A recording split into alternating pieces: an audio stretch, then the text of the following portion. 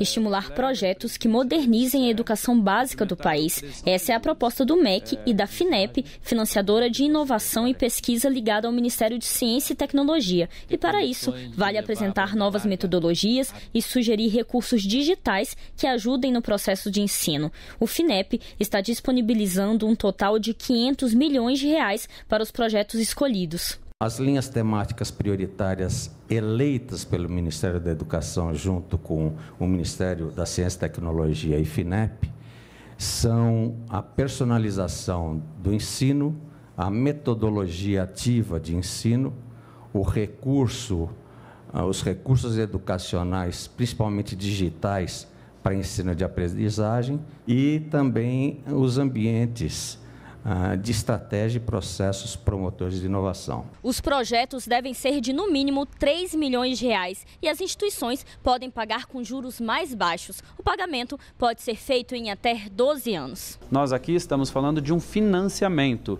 é, e as regras, o atrativo para que a pesquisa, o desenvolvimento do trabalho seja, são bônus dentro do financiamento com uma redução da taxa de juros. Para participar, as instituições de ensino superior devem estar funcionando há no mínimo mínimo três anos e devem ter receita bruta superior a 16 milhões de reais. Para solicitar o financiamento, é preciso acessar o site do FINEP, preencher um cadastro e enviar o projeto. O papel da FINEP é levar a ciência, a tecnologia, a inovação a toda a sociedade brasileira. Portanto, não poderia ser diferente em relação às instituições privadas do ensino superior. Pela primeira vez e de forma muito interessante, a FINEP e o MCTIC trazem essa novidade, que é colocar o olhar é, com um atrativo muito importante para também a aprendizagem da educação básica brasileira.